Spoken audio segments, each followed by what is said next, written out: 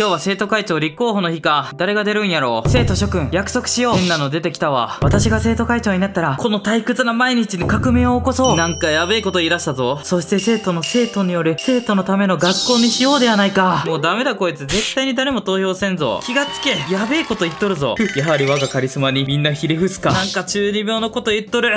お、次は誰だ？みんな俺が生徒会長になったら全員リーゼントで決めてもらう。絶対嫌やわ。また変なやつ来た。まあ落ち着け。みんな慌てるな。今んところ魅力ゼロやからな。安心してくれ。セット用品は支給する。いや、そういうことじゃないから。選挙に勝つつもりないやろ。